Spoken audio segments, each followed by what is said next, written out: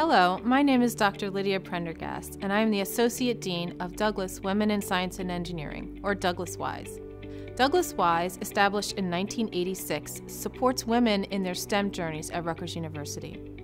WISE provides academic and leadership opportunities, resources and community development, and mentoring and encouragement of women pursuing degrees in STEM.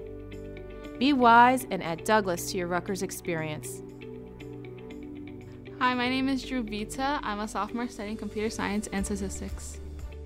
I chose the computer science living learning community because I think it was a good opportunity to meet other um, women in computer science, especially since the field is very um, male dominated. I was able to make a lot of friends that I still talk to to this day. I also um, used some of the um, study groups that they gave us for the introduction levels for CS. I did Project Super after my freshman year during the summer.